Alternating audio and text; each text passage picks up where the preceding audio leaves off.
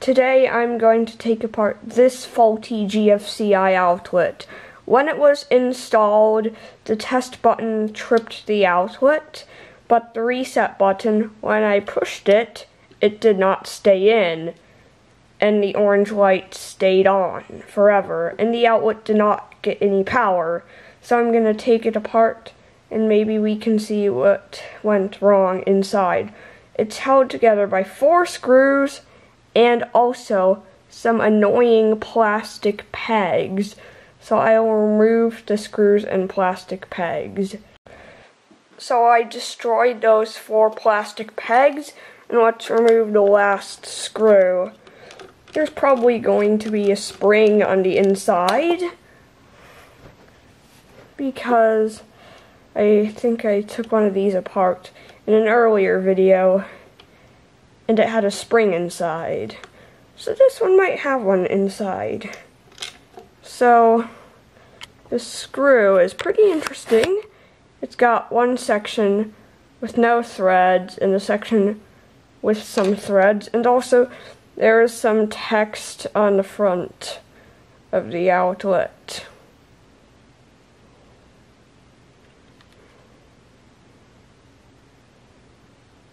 It's interesting. And also, there is a sticker that said not for use in wet and damp locations, which I think means don't use this outlet outside. And also there's one of these warranty void if removed stickers. But now let's open this thing up. I will change the screwdriver tip.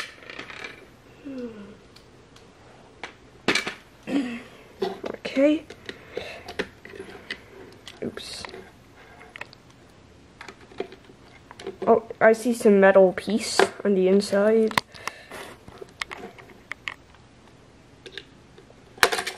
Okay, yes, there is a spring on the inside.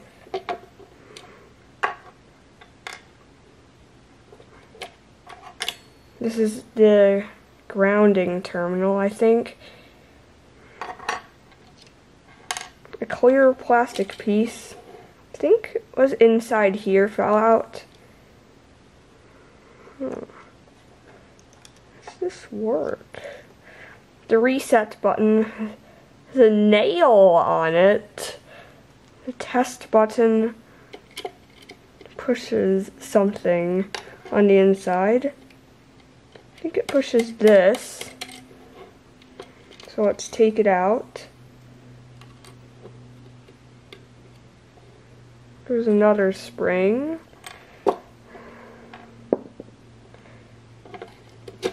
Thing is just weird.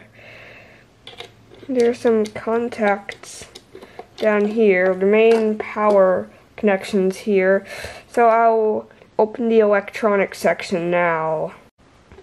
This was a little crazy because the electronic section oops, is filled with quite a lot of parts.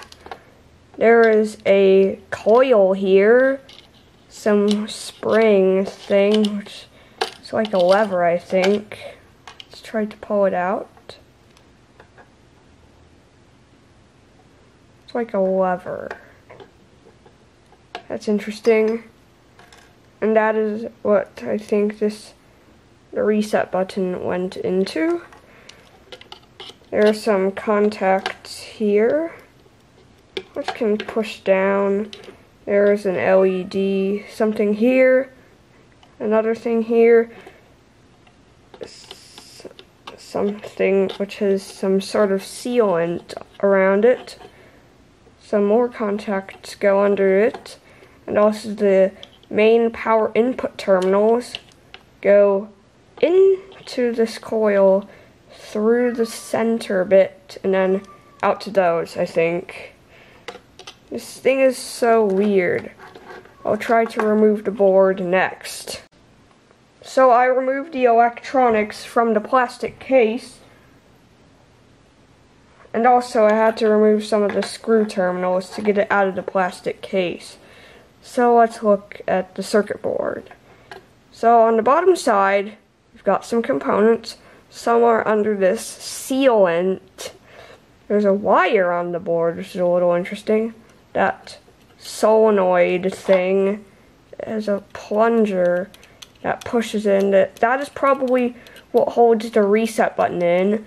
And when the outlet failed by not being able to reset, this plunger probably opened like this and then couldn't and then it couldn't hold the reset button in probably.